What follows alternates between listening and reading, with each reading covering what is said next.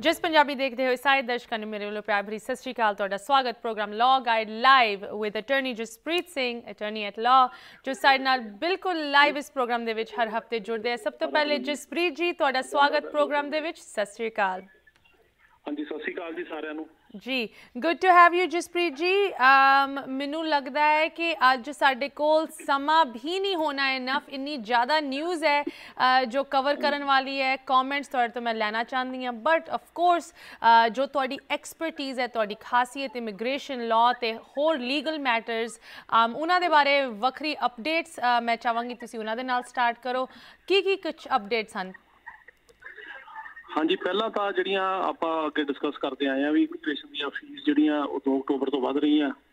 ਤੇ ਉਹ ਜਿਹੜੀਆਂ ਫੀਸ ਸੀਗੀਆਂ ਉਹ ਸੈਨ ਫਰਾਂਸਿਸਕੋ ਡਿਸਟ੍ਰਿਕਟ ਕੋਰਟ ਨੇ ਸਟੇ ਕਰਤੀਆਂ ਨੇਸ਼ਨ ਵਾਈਡ ਹੁਣ ਉਹ ਫੀਸ ਨਹੀਂ ਵਧੀਆਂ।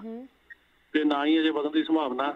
ਤੇ ਉਹ ਫੀਸ ਜਿਹੜੀਆਂ ਮਤਲਬ ਪੁਰਾਣੀਆਂ ਸੀਗੀਆਂ ਉਹੀ ਹੁਣ ਲਾਗੂ ਰਹਿਣਗੀਆਂ।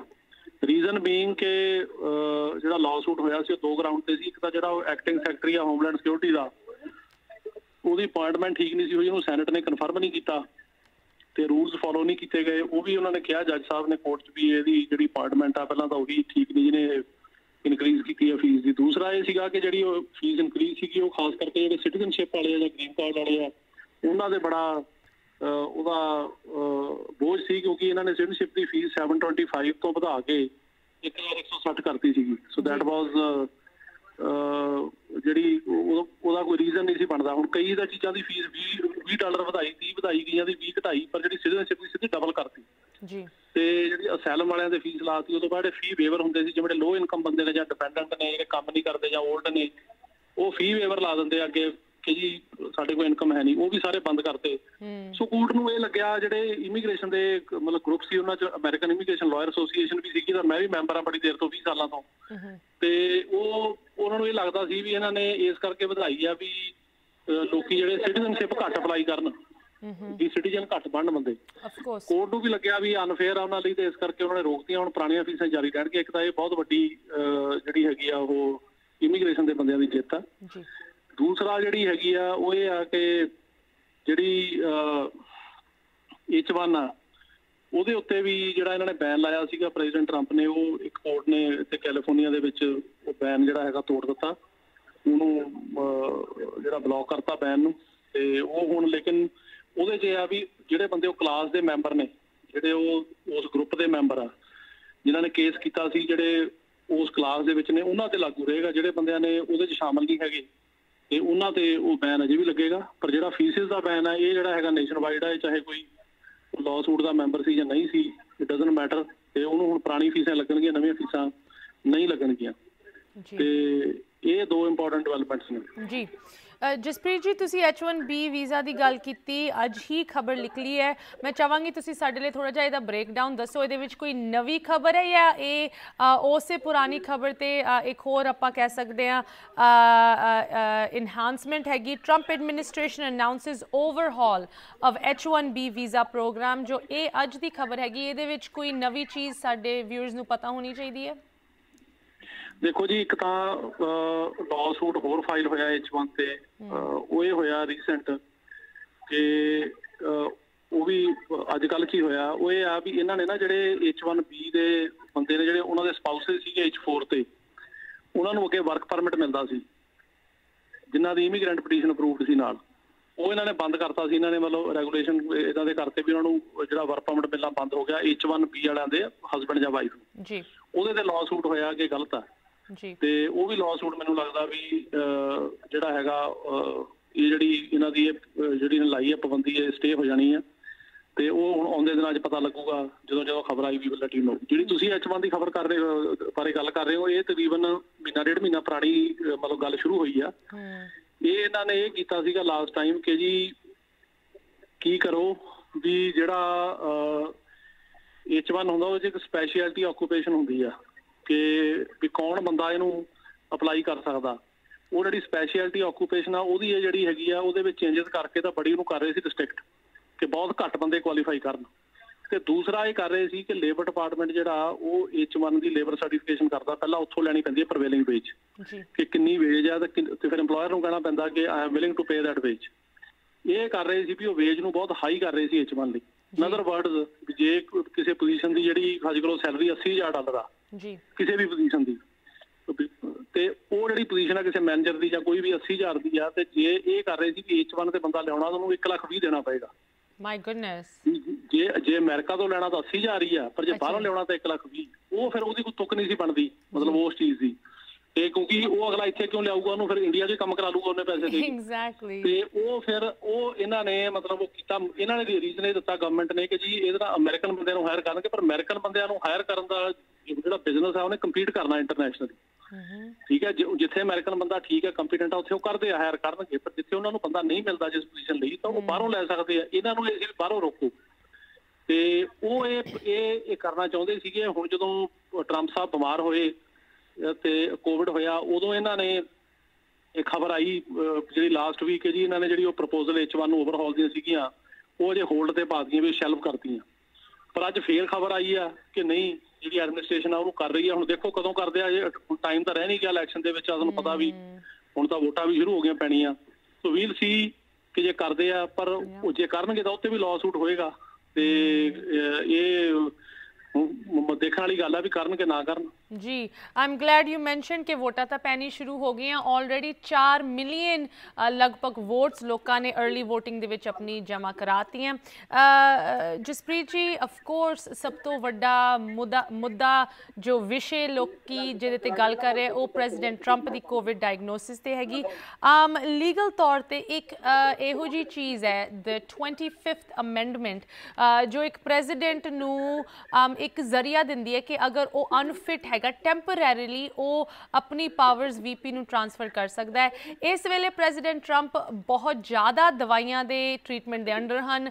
ਕਾਕਟੇਲ ਦਵਾਈਆਂ ਦਾ ਉਹਨਾਂ ਨੂੰ ਦਿੱਤਾ ਜਾ ਰਿਹਾ ਇੱਕ ਦਵਾ ਦੋ ਡੈਕਸਾਮੈਥਾਜ਼ੋਨ ਜੋ ਸਟੈਰੋਇਡ ਹੈਗੀ, ਉਹਦੇ ਨਿਊਰੋਲੋਜੀਕਲ ਸਾਈਡ ਇਫੈਕਟਸ ਕਲੀਨਿਕਲੀ ਦੇਖੇ ਗਏ ਹੈ ਕਿ ਉਹ ਤੁਹਾਡੇ ਦਿਮਾਗੀ ਤੌਰ ਤੇ ਤੁਹਾਨੂੰ ਅਫੈਕਟ ਕਰਦੀ ਹੈ, ਤੁਹਾਡੀ ਸੋਚ, ਤੁਹਾਡੀ ਡਿਸੀਜਨ ਮੇਕਿੰਗ ਨੂੰ ਅਫੈਕਟ ਕਰਦੀ ਹੈ 네ਗੇਟਿਵਲੀ ਉਸ ਚੀਜ਼ ਨੂੰ ਹਿਲਾ ਦਿੰਦੀ ਹੈ। ਬਟ ਹਲੇ ਵੀ ਪ੍ਰੈਜ਼ੀਡੈਂਟ ਟਰੰਪ ਗਵਰਨਮੈਂਟ ਦੇ ਡਿਸੀਜਨਸ ਲੈ ਰਹੇ ਹੈ। ਇਸ ਚੀਜ਼ ਦਾ ਲੀਗਲ ਤੌਰ ਤੇ ਕਿੰਨਾ ਆਪਾਂ ਕਹਿ ਸਕਦੇ ਆ ਇਹਦੇ ਇਨ ਡਿਸੀਜਨ ਮੇਕਿੰਗ ਦੇ ਖਿਲਾਫ ਕੋਈ ਐਕਸ਼ਨ ਲਿੱਤਾ ਜਾ ਸਕਦਾ ਹੈ। Do you think he is in a position ਕਿ ਲੀਗਲ ਤੌਰ ਤੇ ਉਹਨਾਂ ਦੀ ਲੀਡਰਸ਼ਿਪ ਨੂੰ ਇਸ ਵੇਲੇ ਚੈਲੰਜ ਕੀਤਾ ਜਾ ਸਕਦਾ ਹੈ? ਦੇਖੋ ਇਸ ਤਰ੍ਹਾਂ ਸ਼ਮੀਤਾ ਜੀ ਕਿ ਪਹਿਲੀ ਗੱਲ ਤਾਂ ਇਹ ਆ ਕਿ ਅਸੀਂ ਜਿਹੜਾ ਪ੍ਰੈਜ਼ੀਡੈਂਟ ਟਰੰਪ ਦੀ ਸਿਹਤਯਾਬੀ ਲਈ ਜਿਹੜੀ ਕਾਮਨਾ ਕਰਦੇ ਜੀ। ਕਿਉਂਕਿ ਕੋਵਿਡ ਜਿਹੜਾ ਹੈ ਬੜੀ ਖਤਰਨਾਕ ਬਿਮਾਰੀ ਹੈ ਤੇ ਜੇ ਕਿਸੇ ਨੂੰ ਵੀ ਹੋਵੇ ਤਾਂ ਮਤਲਬ ਹੋਣਾ ਇਹ ਚਾਹੀਦਾ ਵੀ ਉਹ ਠੀਕ ਹੋਵੇ ਤੇ ਅਸੀਂ ਜਿਹੜੀ ਇਹ ਕਾਮਨਾ ਕਰਦੇ ਹਾਂ ਕਿ ਪ੍ਰੈਜ਼ੀਡੈਂਟ ਟਰੰਪ ਬਿਲਕੁਲ ਠੀਕ ਹੋਣ ਤੇ ਉਹਨਾਂ ਦੇ ਵਾਈਫ ਵੀ ਠੀਕ ਹੋਣ ਤੇ ਇਹ ਇਹ ਬਿਮਾਰੀ ਤੋਂ ਤਾਂ ਜਿਹੜਾ ਹੈਗਾ ਉਹ ਹਰੇਕ ਬੰਦੇ ਨੂੰ ਠੀਕ ਹੋਣਾ ਚਾਹੀਦਾ ਕਿਉਂਕਿ ਬੜੀ ਡੇਂਜਰਸ ਆ। ਪਰ ਇਹਦੇ ਨਾਲ ਨਾਲ ਜਿਹੜੀ ਜਿਹੜੀ ਗੱਲ ਆ ਉਹ ਇਹ ਆ ਕਿ ਇਹ ਜਿਹੜੀ ਜਿਹੜੀ ਕੋਵਿਡ ਹੋਈ ਆ, ਉਹਦੇ ਪਿੱਛੇ ਜਿਹੜਾ ਮੇਨ ਕਾਰਨ ਹੈ ਉਹ ਜਿਹੜਾ ਮਤਲਬ ਸਾਰੇ ਦੱਸ ਰਹੇ ਹੋ ਹੈ ਵਾ ਮਾਸਕ ਨਾ ਪਾਉਣਾ। ਕਿਉਂਕਿ ਹੁਣ ਇਹ ਤਾਂ ਅੱਜ ਕੱਲ ਇੰਟਰਨੈਸ਼ਨਲੀ ਇਹ ਗੱਲ ਜਿਹੜੀ ਆ, ਉਹ ਕਹੀ ਜਾ ਰਹੀ ਹੈ ਸਾਰੇ ਮੁਲਕਾਂ 'ਚ ਕਿ ਮਾਸਕ ਪਾਓ ਸੀਡੀਸੀ ਕਹਿ ਰਹੀ ਆ WHO ਕਹਿ ਰਹੀ ਆ, ਬਾਕੀ ਜਿਹੜਾ ਮਤਲਬ ਇੰਟਰਨੈਸ਼ਨਲ ਲੈਵਲ ਤੇ ਹਰੇਕ ਹੀ ਕਹਿ ਰਿਹਾ ਵੀ ਮਾਸਕ ਪਾਉਣਾ ਚਾਹੀਦਾ। ਇਹਨਾਂ ਨੇ ਮਾਸਕ ਨੂੰ ਜਿਹੜਾ ਹੈਗਾ, ਉਹ ਨਾ ਆਪ ਪਾਇਆ, ਨਾ ਆਪਣੇ ਨਾਲਦਿਆਂ ਨੂੰ ਕਿਹਾ ਪਾਉਣ ਲਈ, ਤੇ ਉਹਦੇ ਕਰਕੇ ਕਿਤੇ ਨਾ ਕਿਤੇ ਜਿਹੜੇ ਲੋਕਾਂ ਨੇ ਇਹਨਾਂ ਦੇ ਨਾਲਦਿਆਂ ਨੇ ਮਾਸਕ ਨਹੀਂ ਪਾਇਆ। ਹੁਣ ਜਿਵੇਂ ਪਿੱਛੇ ਜਿਹੜਾ ਆਪਣੇ ਗਵਰਨਰ ਸੀ ਨਿਊ ਜਰਸੀ ਦੇ ਕ੍ਰਿਸ ਕ੍ਰਿਸਟੀ ਉਹਨਾਂ ਨੂੰ ਵੀ ਕੋਵਿਡ ਹੋਇਆ। ਉਹਨਾਂ ਨੇ ਇਹਨਾਂ ਦੀ ਤਿਆਰੀ ਕਰਾਈ ਸੀ ਡਿਬੇਟ ਦੀ। ਤੇ ਉਹਨਾਂ ਦਾ ਇਹ ਕਹਿਣਾ ਸੀ ਵੀ ਮੈਂ ਜਿੰਨੀ ਦੇਰ ਤਿਆਰੀ ਕਰਾਈ ਆ ਉੱਥੇ ਕਿਸੇ ਨੇ ਵੀ ਮਾਸਕ ਨਹੀਂ ਸੀ ਪਾਇਆ ਤੇ ਮੈਨੂੰ ਉੱਥੋਂ ਹੋ ਗਿਆ। ਉਹ ਵੀ ਹਸਪੀਟਲ 'ਚ ਭਰਤੀ ਨੇ। ਸੋ ਇਸ ਕਰਕੇ ਇਹਨਾਂ ਦੇ ਨਾਲ ਦੇ ਕਾਫੀ ਬੰਦਿਆਂ ਨੂੰ ਹੋਇਆ ਤੇ ਇੱਥੋਂ ਇੱਕ ਤਾਂ ਇਹ ਮਿਲਦਾ ਸਬਕ ਵੀ ਸਾਰਿਆਂ ਨੂੰ ਮਾਸਕ ਪਾਉਣਾ ਚਾਹੀਦਾ ਸੋਸ਼ਲ ਡਿਸਟੈਂਸਿੰਗ ਰੱਖਣੀ ਚਾਹੀਦੀ ਹੈ ਬਿਮਾਰੀ ਬੜੀ ਸੀਰੀਅਸ ਹੈ ਇਹਨੂੰ ਬੜਾ ਸੀਰੀਅਸਲੀ ਲੈਣਾ ਚਾਹੀਦਾ ਜਿਵੇਂ ਕਿ ਸੀਡੀਸੀ ਇਹਨਾਂ ਦੀ ਕਹਿ ਰਹੀ ਹੈ। ਜੀ। ਹੁਣ ਜਿਹੜੀ ਅਗਲੀ ਗੱਲ ਤੁਸੀਂ ਰੇਜ਼ ਕੀਤੀ ਹੈਗੀ ਆ ਪੁਆਇੰਟ ਇਹਨਾਂ ਦੀ ਜਿਹੜੀ ਕੰਪੀਟੈਂਸ ਦਾ ਉਹਦੇ 'ਚ ਇਸ ਤਰ੍ਹਾਂ ਹੈਗਾ ਕਿ ਜਿਹੜਾ ਇਹਨਾਂ ਦਾ ਫਿਜ਼ੀਸ਼ੀਅਨ ਆ ਉਹ ਕਹਿ ਰਿਹਾ ਵੀ ਇਹ ਠੀਕ ਨੇ। ਇਹ ਆਪ ਕਹਿ ਰਿਹਾ ਮੈਂ ਠੀਕ ਆ ਜਿਹੜੀ ਇਹਨਾਂ ਦੀ ਨਾਲ ਦੀ ਜਿਹੜੀ ਮਤਲਬ ਪਾਰਟੀ ਹੈਗੀ ਰਿਪਬਲਿਕਨ ਉਹ ਕਹਿ ਰਹੀ ਹੈ ਠੀਕ ਆ ਤੇ ਜਿੰਨੀ ਦੇਰ ਤੱਕ ਇਹਨਾਂ ਦਾ ਜਿਹੜਾ ਫਿਜ਼ੀਸ਼ੀਅਨ ਆ ਉਹ ਸਰਟੀਫਾਈ ਨਹੀਂ ਕਰਦਾ। ਜਾਂ ਜਿਹੜੀ ਪਾਰਟੀ ਆ ਉਹ ਨਹੀਂ ਕਰਦੀ। ਕਿ ਜਿਹੜੀ ਜਿਵੇਂ ਹੁਣ ਜਿਹੜੀ ਮਤਲਬ ਸੈਨੇਟ ਦੀ ਲੀਡਰਸ਼ਿਪ ਆ ਜਾਂ ਇਹਨਾਂ ਦਾ ਵਾਈਸ ਪ੍ਰੈਜ਼ੀਡੈਂਟ ਆ ਉਨੀ ਦੇਰ ਤੱਕ ਜਿਹੜਾ ਹੈਗਾ ਉਹ ਇਹਨਾਂ ਨੂੰ ਜਿਹੜਾ ਉਹ ਨਹੀਂ ਕਿਹਾ ਜਾ ਸਕਦਾ ਕਿ ਉਹ ਕੰਪੀਟੈਂਟ ਨਹੀਂ ਕਿਉਂਕਿ ਉਹ ਤਾਂ ਕਹਿ ਰਿਹਾ ਮੈਂ ਠੀਕ ਹਾਂ ਉਹ ਤਾਂ ਵਾਈਟ ਹਾਊਸ ਆ ਕੇ ਹਸਪੀਟਲ 'ਚ ਰਹੀ। ਉਹ ਤਿੰਨ ਦਿਨ ਬਾਅਦ ਹੀ ਉਹਨਾਂ ਨੇ ਕੋਸ਼ਿਸ਼ ਕੀਤੀ ਕਿ ਮੈਂ ਜਿੰਨੀ ਜਲਦੀ ਪਹੁੰਚ ਸਕਾਂ ਕੱਲ ਆ ਕੇ ਕੱਲ ਆ ਕੇ ਉਹਨਾਂ ਨੇ ਬਕਾਇਦਾ ਉੱਥੇ ਫੋਟੋ ਆਪ ਕੀਤਾ ਖੜੇ ਹੋ ਕੇ ਵੇਵ ਕੀਤਾ ਬਿਨਾ ਮਾਸਕ ਤੇ ਹਾਂ। ਨੇ ਮਾਸਕ ਲਾ ਕੇ ਪਹਿਲਾਂ ਤਾਂ ਪਾ ਕੇ ਆਏ ਬਾਅਦ ਲਾ ਕੇ ਕੀਤਾ ਵੀ ਮੈਂ ਠੀਕ ਆ। ਬਲਕਿ ਉਹਨਾਂ ਨੇ ਤਾਂ ਇਹਨੂੰ ਇਦਾਂ ਸਪਿਨ ਕਰਨ ਦੀ ਕੋਸ਼ਿਸ਼ ਕੀਤੀ ਵੀ ਮੈਂ ਤੇ ਜਿੱਤ ਹਾਸਲ ਕੀਤੀ ਆ ਵੀ ਮੈਂ ਮੈਂ ਕੰਟਰੀ ਦੀ ਫਾਈਟ ਨੂੰ ਲੀਡ ਕੀਤਾ ਫਰੰਟ ਤੇ ਜਾ ਕੇ ਜਿਵੇਂ ਨਾ ਕਿਸੇ ਮੁਲਕ ਨਾਲ ਜੰਗ ਹੁੰਦੀ ਆ ਕੋਈ ਵਾਰ ਹੁੰਦੀ ਆ ਉਹ ਚ ਬੰਦਾ ਅੱਗੇ ਲੀਡ ਕਰਦਾ ਘੋੜੇ ਤੇ ਜਾ ਕੇ ਤੇ ਉਹ ਕਹਿੰਦੇ ਵੀ ਮੈਂ ਲੀਡ ਕੀਤਾ ਤੇ ਮੈਂ ਇਹਨੂੰ ਜਿੱਤਿਆ। ਤੇ ਲੇਕਿਨ ਇਹ ਆ ਕਿ ਇਹ ਤਾਂ ਬਿਮਾਰੀ ਆ ਸੁਨੀਤਾ ਜੀ ਇਹਦੇ 'ਚ ਤਾਂ ਕੋਈ ਜਿੱਤ ਹਾਰ ਦਾ ਸਵਾਲ ਨਹੀਂ ਇਹ ਤਾਂ ਇੱਕ ਬਿਮਾਰੀ ਆ। ਜੀ। ਇਹ ਤੋਂ ਜਿੰਨਾ ਬਚਿਆ ਜਾਵੇ ਉਨਾ ਚੰਗਾ ਤੇ ਮੈਨੂੰ ਸਾਨੂੰ ਇਸ ਗੱਲ ਦੀ ਖੁਸ਼ੀ ਆ ਵੀ ਉਹ ਠੀਕ ਠਾਕ ਆ ਗਏ ਨੇ ਤੇ ਅਸੀਂ ਕਾਮਨਾ ਕਰਦੇ ਹਾਂ ਵੀ ਸਿਹਤ ਉਹਨਾਂ ਦੀ ਠੀਕ ਰਹੇ। ਪਰ ਗੱਲ ਇਹ ਆ ਕਿ ਲੋਕਾਂ ਨੂੰ ਸਾਰਿਆਂ ਨੂੰ ਇਹਨੂੰ ਸੀਰੀਅਸਲੀ ਲੈਣਾ ਚਾਹੀਦਾ ਬੜੀ ਡੇਂਜਰਸ ਆ। ਜੀ। ਤੇ ਜਿੰਨੀ ਦੇਰ ਤੱਕ ਇਹਨਾਂ ਦਾ ਜਿਹੜਾ ਫਿਜ਼ੀਸ਼ੀਅਨ ਆ ਜਾਂ ਜਿਹੜੇ ਇਹ ਆਪ ਨਹੀਂ ਕਹਿੰਦੇ ਵੀ ਮੈਂ, ਮਤਲਬ, ਮੇਰੀ ਸਿਹਤ ਠੀਕ ਨਹੀਂ ਉਨੀ ਦੇਰ ਤੱਕ ਇਹ ਲੀਗਲੀ ਫਿਟ ਨੇ ਤੇ ਇਹੀ ਪ੍ਰੈਜ਼ੀਡੈਂਟ ਰਹਿਣਗੇ। ਜੀ ਜੀ. ਬਹੁਤ ਹੀ ਇੰਟਰਸਟਿੰਗ ਡਾਇਨਾਮਿਕ ਪਲੇ ਆਊਟ ਹੋ ਰਿਹਾ ਹੈ ਐਂਡ ਇਸ ਵੇਲੇ ਭਾਵੇਂ ਨਾ ਕਿ ਸਿਰਫ ਪ੍ਰੈਜ਼ੀਡੈਂਟ ਟਰੰਪ ਬਟ ਆਪਾਂ ਕਹਿ ਸਕਦੇ ਹਾਂ ਰਿਪਬਲਿਕਨ ਪਾਰਟੀ ਦੀ ਲੀਡਰਸ਼ਿਪ ਤੇ ਵਾਈਟ ਹਾਊਸ ਦੇ ਕਿੰਨੇ ਸਾਰੇ ਇੰਡੀਵਿਜੂਅਲਸ ਐਡਮਿਨਿਸਟ੍ਰੇਟਿਵ ਸਟਾਫ ਇਸ ਵੇਲੇ ਕੋਵਿਡ ਦੇ ਨਾਲ ਸਟਰਗਲ ਕਰ ਰਿਹਾ ਆਈ ਥਿੰਕ ਅੱਜ ਰਿਪੋਰਟ ਨਿਕਲੀ ਸੀ ਕੁਝ ਲਗਭਗ 40 ਸੈਨੇਟਰਸ ਪੋਸਿਬਲੀ ਐਕਸਪੋਜ਼ਡ ਹੋਏ ਹਨ। ਦੋ ਤਾਂ ਕਨਫਰਮ ਨਿਕਲੇ ਹੈਗੇ ਅ, ਉਹਨਾਂ ਦੇ ਵਿੱਚੋਂ ਇੱਕ ਤੀਜਾ ਕ੍ਰਿਸ ਕ੍ਰਿਸਟੀ ਜੋ ਫਾਰਮਰ ਗਵਰਨਰ ਸੀਗਾ ਨਿਊ ਜਰਸੀ ਦਾ ਉਹ ਵੀ ਪੋਜ਼ਿਟਿਵ ਤੁਸੀਂ ਕਿਹਾ ਹਸਪਤਾਲ 'ਚ ਹੈਗਾ। um, ਸੋ ਇਸ ਵੇਲੇ ਜੋ ਗਵਰਨਮੈਂਟ ਹੈਗੀ ਉਹ ਕਿੰਨੀ ਕੁ ਰੁਕ ਗਈ ਹੈ?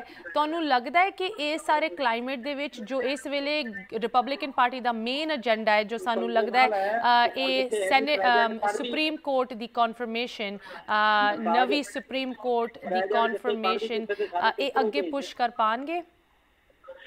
ਨਹੀਂ ਦੇਖੋ ਜਿਹੜੇ ਬੰਦਿਆਂ ਨੂੰ ਹੁਣ ਕੋਵਿਡ ਹੋਇਆ ਜਾਂ ਜਿਹੜੇ ਕੁਆਰੰਟਾਈਨ ਨੇ ਜਿਵੇਂ ਹੁਣ ਅਟਾਰਨੀ ਜਨਰਲ ਬਿਲ ਬਾਰ ਆ ਉਹ ਵੀ ਦੋ ਹਫ਼ਤੇ ਦੀ ਕੁਆਰੰਟਾਈਨ ਆ। ਅੱਜ ਖਬਰ ਆਈ ਸੀ ਵੀ ਜਿਹੜੇ ਆਰਮੀ ਦੇ ਕੁਝ ਜੀ ਜੁਆਇੰਟ ਚੀਫਸ ਆਫ ਸਟਾਫ ਹਾਂਜੀ। ਜਨਰਲ ਨੇ ਉਹਨਾਂ। ਨੇ ਵੀ ਕੁਆਰੰਟਾਈਨ ਕੀਤਾ ਆਪਣੇ ਆਪ ਨੂੰ। ਹਾਂਜੀ। ਤੇ ਇਹਨਾਂ ਦੀ ਜਿਹੜੀ ਮਤਲਬ ਪ੍ਰੈਸ ਸੈਕਟਰੀ ਆ ਪ੍ਰੈਜ਼ੀਡੈਂਟ ਟਰੰਪ ਦੀ ਉਹ ਵੀ ਉਹਨੂੰ ਵੀ ਕੋਵਿਡ ਹੋ ਗਿਆ। ਜੀ। ਤੇ ਉਹ ਤੋਂ ਇਹ ਆ ਵੀ ਜਿਹੜੇ ਹੁਣ ਸੈਨੇਟਰਸ ਨੇ ਹੁਣ 2 ਵੀਕਾਂ ਤੱਕ ਤਾਂ ਨਹੀਂ ਹੋਣਾ ਕੁਝ 2 ਵੀਕਾਂ ਤੋਂ ਬਾਅਦ ਇਹ ਪੁਸ਼ ਕਰਨ ਦੀ ਕੋਸ਼ਿਸ਼ ਕਰ ਸਕਦੇ ਪਰ ਸਿਨੈਰੀਓ ਇਹੀ ਲੱਗ ਰਿਹਾ ਇਸ ਹਿਸਾਬ ਨਾਲ ਵੀ ਜਿਹੜੀ ਇਲੈਕਸ਼ਨ ਹੈ ਇਲੈਕਸ਼ਨ ਤੱਕ ਕੁਝ ਨਹੀਂ ਹੋਣਾ ਇਲੈਕਸ਼ਨ ਤੋਂ ਬਾਅਦ ਹੋਊਗਾ ਜੋ ਵੀ ਹੋਊਗਾ। ਜੀ ਜੀ ਸੋ ਇਲੈਕਸ਼ਨ ਤੱਕ ਹੋ ਸਕਦਾ ਵੀ ਇਹ ਜਿਹੜੀ ਹੈਗੀ ਉਹਦੀ ਕਨਫਰਮੇਸ਼ਨ ਨਾ ਹੋਵੇ। ਤੇ ਬਾਕੀ ਹੁਣ ਇਲੈਕਸ਼ਨ ਦਾ ਰਿਜ਼ਲਟ ਜਿਹੜਾ ਹੈਗਾ ਪਰ ਪ੍ਰੋਬਲਮ ਇਹ ਆ ਕਿ ਇਲੈਕਸ਼ਨ ਤੋਂ ਬਾਅਦ ਵੀ ਜਨਵਰੀ ਤੱਕ ਜਿਹੜਾ ਨਵਾਂ ਪ੍ਰੈਜ਼ੀਡੈਂਟ ਨਹੀਂ ਬਣਦਾ। ਤੇ ਜਿਹੜਾ ਆ 2 ਮਹੀਨੇ ਹੁੰਦੇ ਨੇ ਨਵੰਬਰ ਦਸੰਬਰ ਦੇ ਇਹਦੇ ਜਿਹੜੀ ਜਿਹੜੀ ਪੁਰਾਣੀ ਐਡਮਿਨਿਸਟ੍ਰੇਸ਼ਨ ਆ ਭਾਵੇਂ ਲੇਮ ਟਾਕੀ ਹੁੰਦੀ ਉਹੀ ਚੱਲਦੀ ਆ। ਉਹਦੇ 'ਚ ਵੀ ਟਰਾਈ ਕੀਤੀ ਜਾ ਸਕਦੀ ਇਹਨਾਂ ਵੱਲੋਂ। ਕਿ ਉਹਨੂੰ ਕਨਫਰਮ ਕਰਨ ਦੀ ਪੁਸ਼ ਕਰਨ ਦੀ। ਸੋ ਵੀਲ ਸੀ ਕਿ ਇਹ ਕਿਸ ਤਰ੍ਹਾਂ ਪਲੇ ਆਊਟ ਹੁੰਦਾ। ਤੁਹਾਨੂੰ ਯਾਦ ਆ, ਹੋਊਗਾ ਸ਼ਮੀਤਾ ਜੀ, ਆਪਾਂ ਅੱਜ ਤੋਂ 2-3 ਮਹੀਨੇ ਪਹਿਲਾਂ ਜਦੋਂ ਪ੍ਰੋਗਰਾਮ ਕੀਤਾ ਸੀ, ਉਹ ਤੇ ਆਪਾਂ ਗੱਲ ਕੀਤੀ ਸੀਗੀ ਕਿ ਜਿਹੜੀ ਇਲੈਕਸ਼ਨ ਹੈ, ਤੁਸੀਂ ਮੈਨੂੰ ਸਵਾਲ ਪੁੱਛਿਆ ਸੀ, ਮੈਂ ਤੁਹਾਨੂੰ ਦੱਸਿਆ ਸੀ ਕਿ ਇਲੈਕਸ਼ਨ ਦਾ ਫੈਸਲਾ ਜਿਹੜਾ ਹੈਗਾ, ਉਹ ਕਰੋਨਾ ਵਾਇਰਸ ਕਰੂਗਾ। ਜੀ। ਜੀ। ਨਹੀਂ ਤੁਸੀਂ ਐਗਜ਼ੈਕਟਲੀ ਇਹ ਵਰਡਸ ਕਹੇ ਸੀ ਅਬ ਸਾਡੀ ਗੱਲ ਹੋਈ ਸੀ ਕਿ ਇਸ ਇਲੈਕਸ਼ਨ ਦੇ ਵਿੱਚ ਪ੍ਰੈਜ਼ੀਡੈਂਟ ਟਰੰਪ ਦਾ ਅਸਲ ਅਪੋਨੈਂਟ ਜੋ ਬਾਈਡਨ ਨਹੀਂ ਕੋਵਿਡ ਹੈਗਾ ਐਂਡ ਹੁਣ। ਲੱਗਦਾ ਹੈ ਕਿ ਉਹਨਾਂ ਦੇ ਇਸ ਅਪੋਨੈਂਟ ਨੇ ਉਹਨਾਂ ਨੂੰ ਫਾਈਨਲੀ ਫੜ ਲਿਆ ਹੈ। ਦੇਖਦੇ ਹਾਂ ਕਿਸ ਤਰ੍ਹਾਂ। ਬਟ ਜਸਪ੍ਰੀਤ ਜੀ ਕੁਝ ਡਾਕਟਰਸ ਯੂ نو ਤੁਸੀਂ ਇਹਨਾਂ ਦੀ ਜਨਰਲ ਕਾਉਂਸਲ ਦੀ ਗੱਲ ਕੀਤੀ ਜੋ ਪ੍ਰੈਜ਼ੀਡੈਂਟ ਟਰੰਪ ਦਾ ਡਾਕਟਰ ਇਸ ਵੇਲੇ ਉਹਨਾਂ ਨੂੰ ਟ੍ਰੀਟ ਕਰ ਰਿਹਾ ਹੈ। ਆਮ ਉਹਨਾਂ ਦੇ ਵੱਲੋਂ ਕਨਫਲਿਕਟਿੰਗ ਰਿਪੋਰਟਸ ਆ ਰਹੀ ਹੈ। ਇੱਕ ਪਾਸੇ ਉਹ ਕਹਿ ਰਹੇ ਕਿ ਪ੍ਰੈਜ਼ੀਡੈਂਟ ਟਰੰਪ ਠੀਕ ਠਾਕ ਹਨ, ਉਹ ਆਪਣੀ ਡਿਊਟੀਆਂ ਵਾਈਟ ਹਾਊਸ ਵਿੱਚ ਜਾ ਕੇ ਰਿਜ਼ੂਮ ਕਰ ਸਕਦੇ ਹੈ ਟ੍ਰੀਟਮੈਂਟ ਉਹਨਾਂ ਨੂੰ ਉੱਥੇ ਦਿੱਤਾ ਜਾ ਰਿਹਾ ਇੱਕ ਤਰਫ ਉਹ ਕਹਿ ਰਹੇ ਕਿ ਹਲੇ ਉਹ ਖਤਰੇ ਤੋਂ ਬਾਹਰ ਨਹੀਂ ਹੈ ਕਿ ਅਗਲੇ ਮੰਡੇ ਤੱਕ ਸਾਨੂੰ ਵੇਖਣਾ ਪੈਣਾ ਹੈ ਕਿ ਉਹਨਾਂ ਦੀ ਕੰਡੀਸ਼ਨ ਕਿਸ ਤਰ੍ਹਾਂ ਅੱਗੇ ਵੱਧਦੀ ਹੈ ਜਾਂ ਡਿਟੀਰੀਅਰੇਟ ਹੁੰਦੀ ਹੈ। ਅਮ, ਇਸ ਸਿਚੁਏਸ਼ਨ ਦੇ ਵਿੱਚ ਆਈ ਮੀਨ ਕੋਈ ਵੀ ਗਵਰਨਮੈਂਟ ਨੂੰ ਸੀਰੀਅਸਲੀ ਕਿਸ ਤਰ੍ਹਾਂ ਲੈ ਸਕਦਾ ਹੈ? ਨਹੀਂ ਇਸ ਤਰ੍ਹਾਂ ਜੀ ਕਿ ਉਹ- ਉਹਨਾਂ ਦੀ ਜਿਹੜੀਆਂ ਇਹ ਤੁਸੀਂ ਠੀਕ ਕਹਿ ਰਹੇ ਹੋ ਕਿਉਂਕਿ ਪਹਿਲਾਂ ਜਦੋਂ ਇਹ ਐਡਮਿਟ ਹੋਏ ਤਾਂ ਉਹਨਾਂ ਨੇ ਕਿਹਾ ਕੋਈ ਆਕਸੀਜਨ ਨਹੀਂ ਲੱਗੀ ਕੁਝ ਨਹੀਂ ਠੀਕ ਨੇ। ਫਿਰ ਉਹਨਾਂ ਨੇ ਆਪ ਹੀ ਕਹਿਤਾ ਦੋ ਦਿਨ ਬਾਅਦ ਕਿ ਜੀ ਆਕਸੀਜਨ ਤੇ ਰੱਖਿਆ ਗਿਆ ਦੋ ਦਿਨ ਆਕਸੀਜਨ ਲਾਈ ਗਈ ਫਰਾਈਡੇ ਸੈਟਰਡੇ ਹੁਣ ਉਹ ਕਹਿ ਰਹੇ ਆ ਕਿ ਅੱਜ ਉਹਨਾਂ ਦਾ ਆਇਆ ਵੀ ਬਿਲਕੁਲ ਠੀਕ ਨੇ ਤੇ ਹੁਣ ਉਹ ਖਤਰੇ ਤੋਂ ਬਾਹਰ ਨੇ ਕੋਵਿਡ ਕੋਈ ਨਹੀਂ ਹੈਗਾ। ਤਾਂ ਉਹਨਾਂ ਦਾ ਬਿਆਨ ਇੱਕ ਦਿਨ ਕੁ- ਕੁਛ ਹੁੰਦਾ ਦੂਜੇ ਦਿਨ ਕੁਛ ਹੁੰਦਾ। ਤਾਂ ਉਹਨਾਂ ਨੂੰ ਲੋਕੀ ਜਿਹੜੇ ਆ ਉਹ ਉਹ ਨਹੀਂ ਲੈ ਰਹੇ ਸੀਰੀਅਸਲੀ ਵੀ ਇਹ ਪਤਾ ਨਹੀਂ ਮਤਲਬ ਕਿਸ ਪ੍ਰੈਸ਼ਰ ਥੱਲੇ ਆ ਕੇ ਤਾਂ ਇਹ ਇਦਾਂ ਦੀਆਂ ਸਟੇਟਮੈਂਟਸ ਦੇ ਰਹੇ ਆ। ਪਰ ਅਜੇ ਵੀ ਜਦੋਂ ਹੁਣ ਐਡੀ ਸੀਰੀਅਸ ਬਿਮਾਰੀ ਹੋਈ ਆ ਹਸਪੀਟਲ ਜਾ ਕੇ ਆਇਆ ਦੋ ਵੀਕ ਅਜੇ ਮੇਰਾ ਖਿਆਲ ਆ ਦਾ ਪੀਰੀਅਡ ਤਾਂ ਵੈਸੇ ਹੀ ਹੈਗਾ ਜੀ ਟ੍ਰੀਟਮੈਂਟ ਦਾ ਜਿਹੜੀ ਹੁਣ ਦਵਾਈਆਂ ਵੀ ਲੈ ਰਹੇ ਆ ਦੋ ਹਫ਼ਤੇ ਚੱਲਣਗੀਆਂ ਜੀ। ਜੀ। ਤੇ ਪਰ ਉਹ ਜਿਹੜਾ ਇਹਨਾਂ ਦਾ ਸਾਰਾ ਜਿਹੜੇ ਮਤਲਬ ਇਹਨਾਂ ਦੇ ਇਰਦ ਗਿਰਦ ਮੈਡੀਕਲ ਐਕਸਪਰਟਸ ਨੇ ਉਹ ਕਹਿ ਰਹੇ ਨੇ ਵੀ ਇਹ ਹੁਣ ਖਤਰੇ ਤੋਂ ਬਾਹਰ ਨੇ ਹੁਣ ਠੀਕ ਨੇ। ਤੇ ਹੁਣ ਦੇਖਣ ਵਾਲੀ ਗੱਲ ਇਹ ਆ ਕਿ ਮਤਲਬ ਇਹ ਕਿੰਨੀ ਕੁ ਦੇਰ ਤੱਕ ਜਿਹੜਾ ਹੈਗਾ ਉਹ ਇਹ ਇਹ ਠੀਕ ਖਬਰਾਂ ਆਉਂਦੀਆਂ ਨੇ? ਜੇ ਤਾਂ ਠੀਕ ਹੀ ਹੋਏ ਜੇ ਠੀਕ ਹੋਈ ਖਬਰ ਫਿਰ ਤਾਂ ਇਹੀ ਰਹੇਗਾ ਵੀ ਠੀਕ ਨੇ ਬਿਲਕੁਲ। ਪਰ ਜੇ ਉਹ ਖਬਰ ਗਲਤ ਹੋਈ ਤਾਂ ਹੋ ਸਕਦਾ ਕੱਲ ਪਰਸੋਂ ਨੂੰ ਫੇਰ ਕੋਈ ਹੋਰ ਨਵੀਂ ਆ ਜਾਵੇ ਵੀ ਆਹ ਕੋਈ ਕੰਪਲਿਕੇਸ਼ਨ ਹੋ ਗਈ। ਕਾਮਨਾ ਕਰਦੇ ਆ ਵੀ ਠੀਕ ਰਹਿਣ ਕਿਉਂਕਿ ਆਫਟਰ ਆਲ ਇਸ ਮੁਲਕ ਦੇ ਪ੍ਰੈਜ਼ੀਡੈਂਟ ਨੇ ਤੇ ਪ੍ਰੈਜ਼ੀਡੈਂਟ ਨੂੰ ਤਾਂ ਜਿਹੜਾ ਅਮਰੀਕਾ ਦਾ ਹਰੇਕ ਸਿਟੀਜ਼ਨ ਆ ਉਹ ਚਾਹੁੰਦਾ ਕਿ ਸਾਡਾ ਪ੍ਰੈਜ਼ੀਡੈਂਟ ਠੀਕ ਰਵੇ ਹੈਲਥੀ ਰਵੇ। ਤੇ ਬਾਕੀ ਇਹ ਆ ਵੀ ਹੋਰ ਇੰਟਰਸਟਿੰਗ ਗੱਲ ਆ ਜਸਮੀਤਾ ਜੀ ਜਿਹੜੀ ਹੁਣ ਕੱਲ ਪੋਲ ਆਈ ਹੈ ਇੱਕ ਰੀਸੈਂਟ ਡਿਬੇਟ ਤੋਂ ਬਾਅਦ। ਜੀ। ਉਹਦੇ ਵਿੱਚ ਇਹ ਆਇਆ ਕਿ ਜਿਹੜੀ ਲੀਡ ਹੈਗੀ ਹੈ ਜੋ ਬਾਈਡਨ ਦੀ ਉਹ 14 ਪੁਆਇੰਟ ਅੱਗੇ ਹੋ ਗਈ। 14 ਪੁਆਇੰਟਸ ਯਪ। ਹੁਣ ਅੱਗੇ ਪਹਿਲਾਂ ਉਸ ਦਿਨ ਹੀ ਸੀਐਨਐਨ ਦੀ ਆਈ ਸੀਗੀ ਕਿ ਇਹਦੇ ਵਿੱਚ ਜਿਹੜਾ ਜੋ ਬਾਈਡਨ ਆ ਉਹਨਾਂ ਨੂੰ 10 ਚੋਂ 6 ਬੰਦਿਆਂ ਨੇ ਕਿਹਾ ਵੀ ਉਹਨਾਂ ਨੇ ਜ਼ਿਆਦਾ ਬੈਟਰ ਪਰਫਾਰਮ ਕੀਤਾ ਜਾਂ ਉਹਨਾਂ ਨੂੰ ਲੋਕਾਂ ਨੇ ਠੀਕ ਮੰਨਿਆ ਸਿਆਣਾ ਮੰਨਿਆ। ਤੇ ਉਹ ਗੱਲ ਤੇ ਇਹਨਾਂ ਨੇ ਕਿਹਾ ਫੇਕ ਨਿਊਜ਼ ਹੈ ਲਿਬਰਲ ਮੀਡੀਆ ਸੀਐਨਐਨ ਦਾ ਖਿਲਾਫ ਹੈ ਸਾਡੇ। ਪਰ ਜਿਹੜੀ ਹੁਣ ਆਈ ਆ ਪੋਲ ਇਹ ਜ਼ਿਆਦਾ ਇੰਡੀਪੈਂਡੈਂਟ ਆ ਤੇ ਇਹਨੇ ਕਨਫਰਮ ਕਰਤੀ ਗੱਲ ਉਹ ਵੀ ਇਹ ਜਿਹੜਾ ਡਿਬੇਟ ਆ ਇਹਨੇ ਕੋਈ ਪ੍ਰੈਜ਼ੀਡੈਂਟ ਟਰੰਪ ਨੂੰ ਫਾਇਦਾ ਨਹੀਂ ਕੀਤਾ ਬਲਕਿ ਨੁਕਸਾਨ ਹੀ ਕੀਤਾ। ਜੀ। ਕਿਉਂਕਿ ਇਹ ਜਿਹੜੀ ਇਲੈਕਸ਼ਨ ਹੈ ਨਾ ਸ਼ਮਿਤਾ ਜੀ ਇਹ ਜੋ ਬਾਈਡਨ ਦੀ ਇਲੈਕਸ਼ਨ ਨਹੀਂ ਇਹ ਪ੍ਰੈਜ਼ੀਡੈਂਟ ਟਰੰਪ ਦੀ ਇਲੈਕਸ਼ਨ ਹੈ ਇਸ ਇਲੈਕਸ਼ਨ ਇਜ਼ ਅਬਾਊਟ ਟਰੰਪ ਜੀ ਜੀ।